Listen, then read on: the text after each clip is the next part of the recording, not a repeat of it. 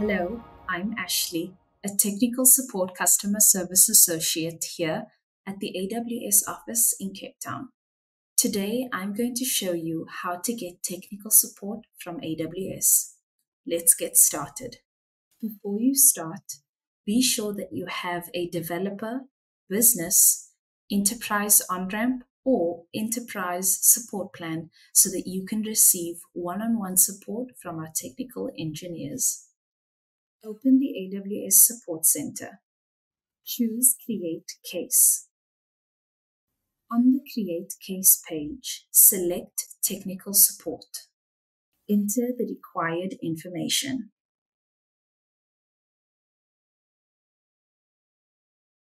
Then select Next Step Additional Information.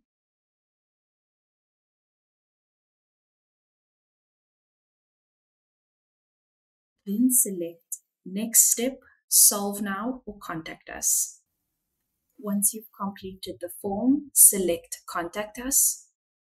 Go ahead and enter your email address in the block and select Submit. So now you know how to get technical support from AWS. Thanks for watching and happy cloud computing from all of us here at AWS.